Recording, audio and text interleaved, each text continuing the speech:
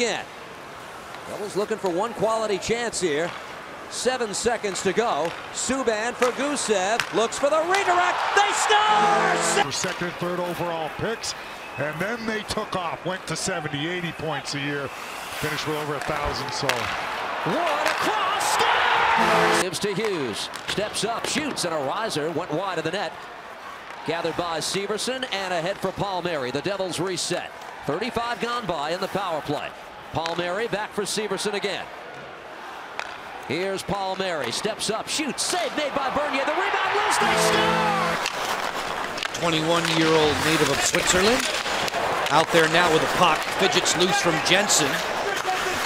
Stopping and starting, using the cage for some leverage. Great pass! And it's Simmonds who scores. For Severson moves to the middle.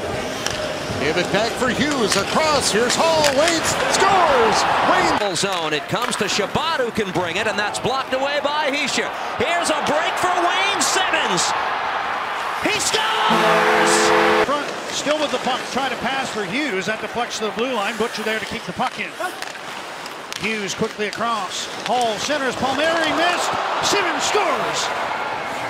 Great try. Oh, yeah, Hughes cutting for the net, and that just missed. Palmieri. Hughes turns, sends it in front.